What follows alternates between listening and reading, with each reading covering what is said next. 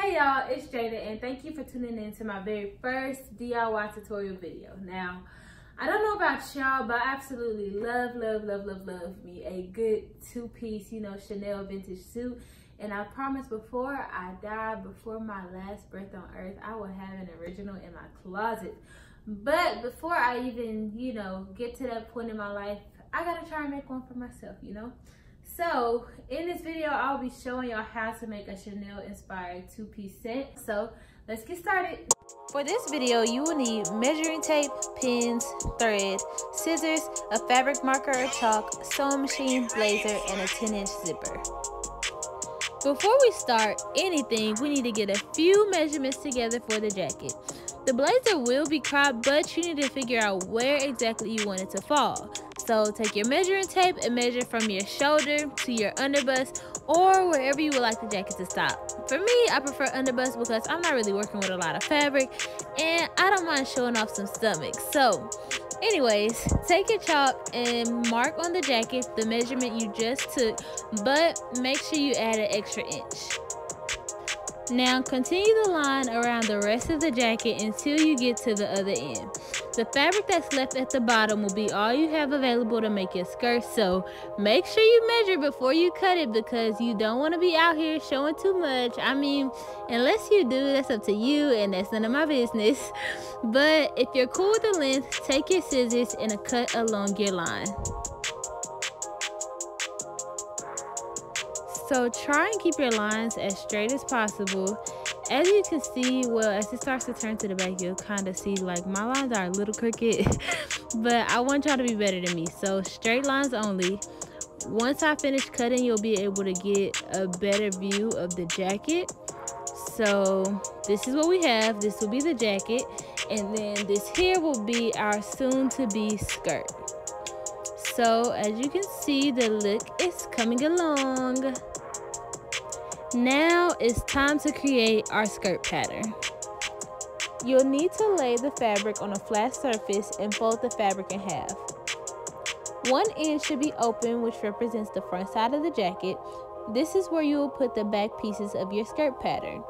And the other end should be on the fold. As you can see, this is the side of the fabric that's closest to the camera. This is where you will put your front skirt pattern piece. For the next part, we're going to have to do a little bit of math. So get your measuring tape and take your waist, hip, and upper thigh measurement. Divide those numbers by 4 and write those down. Since our skirt will have darts, you know, so we can suck in the waist a little bit, you know, be snatched.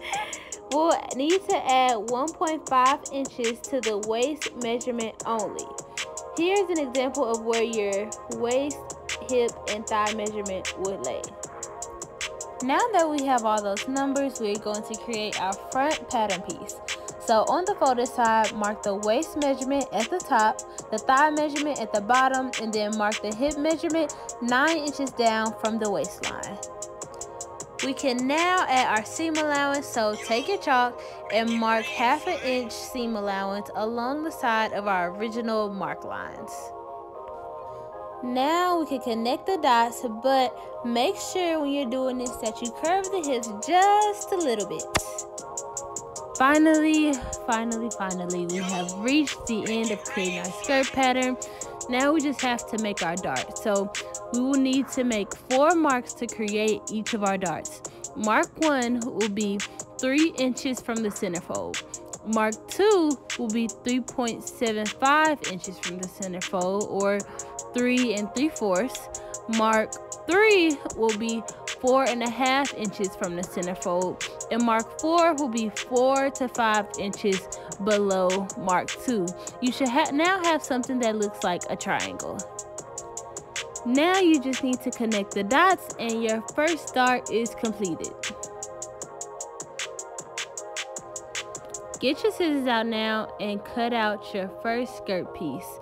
And we're going to use the same piece so we don't have to go through that whole process again to create our back skirt piece pattern.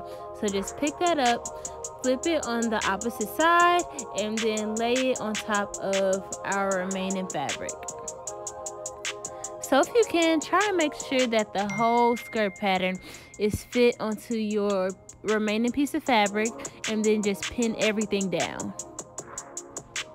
The only difference between our front pattern piece and our back pattern piece is we'll need to add half an inch seam allowance to the back side for the zipper. So just go ahead, take your chalk and mark half an inch away from our back skirt pattern piece.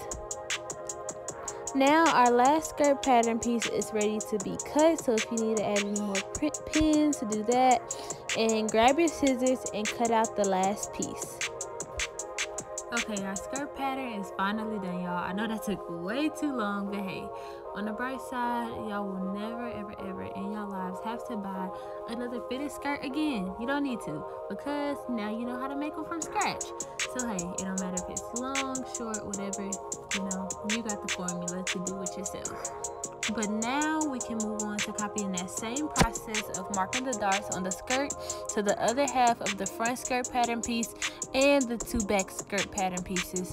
The only difference between the back darts and the front darts will be that the back darts are an inch longer and you're going to nudge mark one, two, three, and four over a half an inch away from the center back because of the seam allowance we added for the zipper.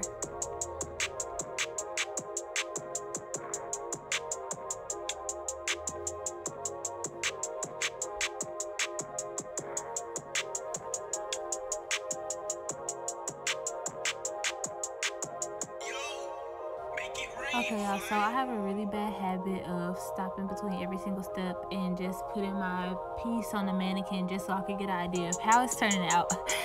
but this is basically what we have so far with our darts and them pinned on the mannequin. So sewing darts are really simple. With the right side spacing together, you are going to take one of the darts and fold the skirt fabric in half and line up mark 1 and 3, then pin it together. Then go down to mark 4 and add another pin. We are going to sew using the pins as a guide, sewing from the top pin to the bottom pin, sort of at an angle. When you finish your seam, the dart should look like half a triangle. Then repeat this step to this is what the skirt looks like with all the darts sewn and the front pattern piece and one back pattern piece sewn together. To sew the other side seam, what we're going to do is take our remaining back pattern piece and line it up with the front skirt pattern piece, then pin it together. Make sure you are lining up the hip or the curved side of both pattern pieces. Once you have it all pinned up, then you can sew the side seam at half an inch seam allowance.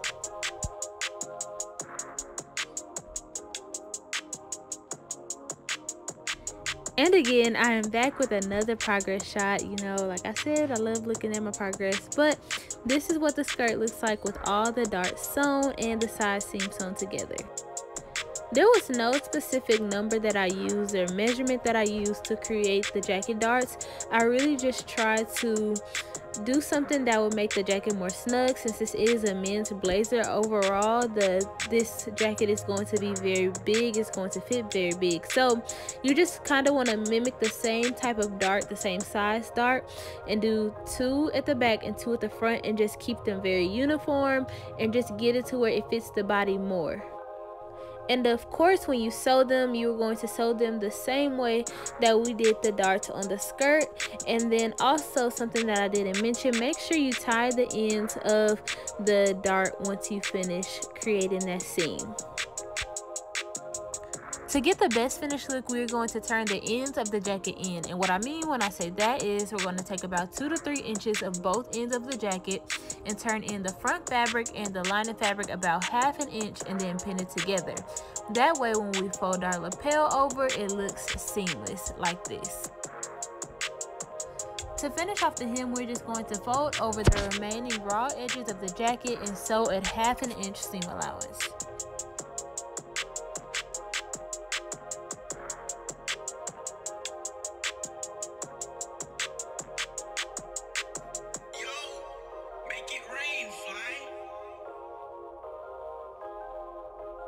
We're going to repeat that same step to the top and bottom edges of the skirt but before you hem the skirt make sure you clean up the edges first by taking your scissors and trimming the edges neatly then you can pin and sew at half an inch seam allowance Unfortunately, my camera ran out of space during the recording, so I couldn't get the entire zipper process recorded, so it will be a little chopped up.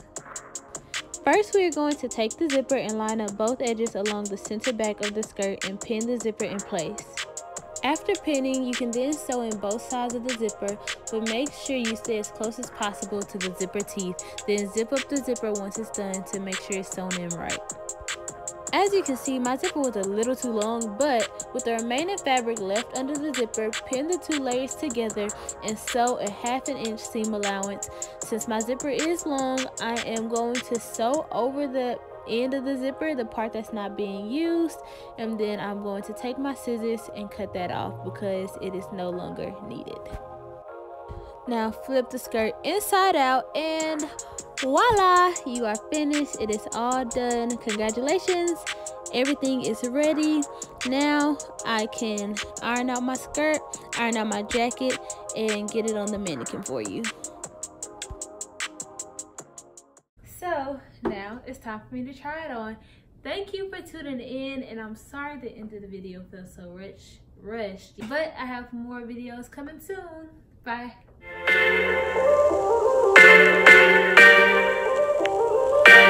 You so much for watching. Please like, share, and subscribe.